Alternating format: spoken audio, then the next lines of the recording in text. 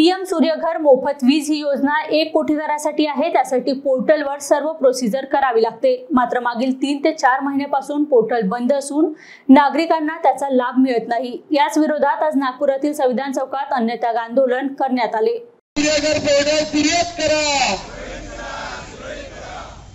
आज आम्ही इथे संविधान चौकमध्ये पी एम सूर्यघर योजना ही एक कोटी घरांवरती सौर योजनाचा प्रकल्प आहे आणि त्याचं जे पोर्टल आहे त्या पोर्टलमध्ये बऱ्याच तीन ते चार महिन्यापासनं ते पोर्टल बंद असल्यामुळे सामान्य नागरिकाला याचा फायदा होऊ शकत नाही आहे आणि कुठल्याही प्रकारचं सौर सिस्टम आज फक्त महाराष्ट्रात नाही तर ऑल ओव्हर इंडियामध्ये कुठेही लागू शकत नाही आहे आणि त्याचा जो बेनिफिट आहे आज उन्हाळा होऊन गेला तरी त्याचं बेनिफिट कस्टमरला घेता आलं नाही. सबसिडी जी सेंट्रल गव्हर्नमेंटनी सांगितलेली आहे ती सबसिडी सेंट्रल गव्हर्नमेंटनी दिलेली आहे. पण पोर्टल चालू नसल्यामुळे त्या सबसिडीचा बेनिफिट पण कस्टमरपर्यंत पोहोचत नाही आहे हा प्रॉब्लेम फक्त महाराष्ट्र नागपूरपुरता नसून तुम्हाला लक्षात येईल की पूर्ण महाराष्ट्र नाही इंडियातल्या सगळ्या असोसिएशननी याला पाठिंबा दिलेला आहे.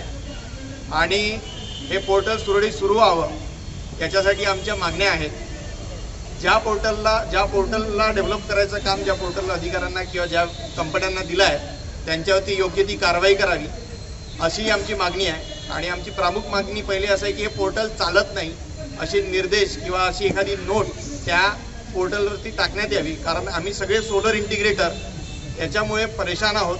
मागच्या चार महिन्यापासून धंदे बंद आहेत. आणि कस्टमरला वाटतंय की ह्या सगळ्या गोष्टी आमच्यामुळे होतात आहे कारण दिवसेंदिवस दररोज पेपरमध्ये या योजनेबद्दलची प्रसारमाध्यमातून सोलर लावा असे आव्हान कस्टमरपर्यंत होत आहे. आणि कस्टमरला याच्या कुठल्याही प्रकारचं संज्ञान नाही आहे की पोर्टल सुरू नाही आहे सध्या. आणि पोर्टल सुरू नसल्यामुळे हा सगळा प्रॉब्लेम आहे. तर आमची शासनाला प्रशासनाला एकच निवेदन आहे की पोर्टल लवकरात लवकर सुरू करण्यात यावं. आणि त्याच्याबद्दलची एक नोट की पुढच्या दहा दिवसात पंधरा दिवसामध्ये पोर्टल सुरू होईल अशी एक नोट त्यांनी आपल्या वेबसाईटवर टाकावी.